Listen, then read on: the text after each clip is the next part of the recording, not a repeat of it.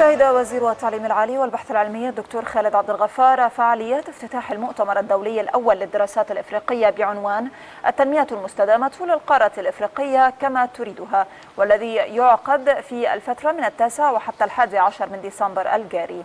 وخلال كلمته أكد عبد الغفار على أن القارة الإفريقية تعد من القارات الشابة التي تمتلك ثروات غنية يجب استغلالها بدلا من تصديرها إلى الخارج.